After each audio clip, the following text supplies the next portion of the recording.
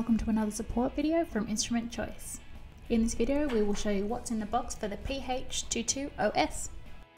The pH220S is highly accurate and great for those who have no time to spare, boasting a sample rate of 0.8 seconds.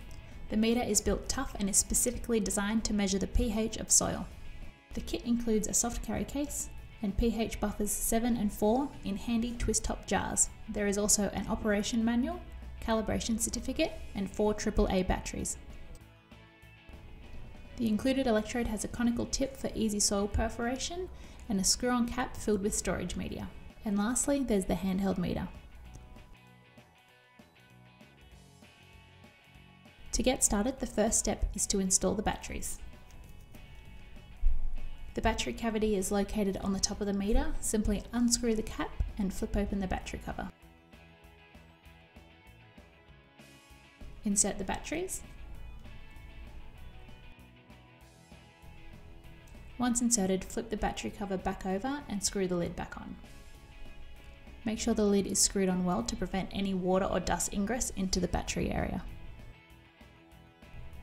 To turn on, press the top power button. The last step is to plug in the electrode. Simply remove the electrode cap, match the grooves together and twist into place. Unboxing and setup is now complete. The pH220S is ready to use.